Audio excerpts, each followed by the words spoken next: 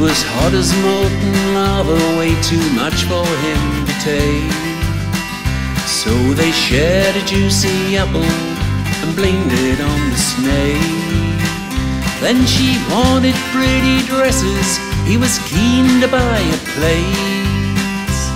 They stripped the trees of all their leaves and thought it no disgrace.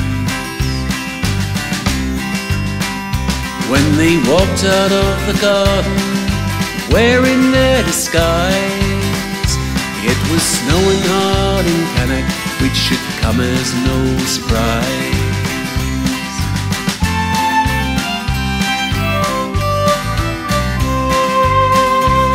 The farmer gave them plenty and the preacher told them why. The potter gave them time and now they're living in the sky. He got so very clever, didn't check the time of day.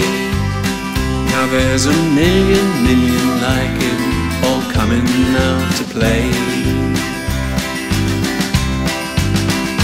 Now they all want toys and trinkets, is that so very wise?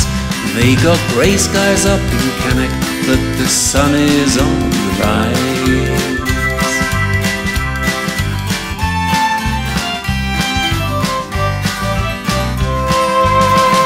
Well, she got to be so pretty in a palace on the hill. It gets very late in winter for she even feels the chill. They'll tell you anything you like, what would you like to hear? It won't affect the things you love or the people you hold dear. Well, maybe we're not listening, not using our own eyes. Now it's raining hard in Qaanaaq, isn't that a big surprise?